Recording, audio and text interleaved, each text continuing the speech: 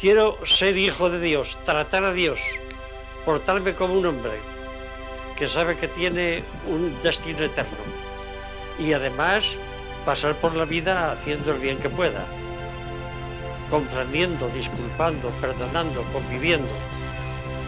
Esta es mi rebeldía. San José María tiene un estilo que sigue funcionando. O sea, que a mí me parece, desde el punto de vista de la comunicación, se trata de una persona con una capacidad enorme de hablar eh, de forma moderna. Mi conversación es la conversación corriente, la conversación que tiene un hermano con sus hermanos, un padre con sus hijos. Ponte cómodo y hablamos de esto. Creos de verdad que amor con amor se paga.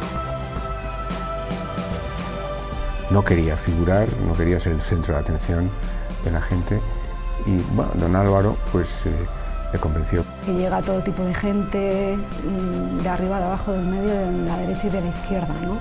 Supo anticiparse y, y, ver los tiempos adelantados. De modo que encontramos en la penitencia a Cristo, que es Padre y Madre, que perdona y además nos enciende y nos fortalece. Si consideras al Señor con amor, verás que la mayor maravilla es que no se haya querido apartar de nosotros. Es enormemente actual, es espectacular.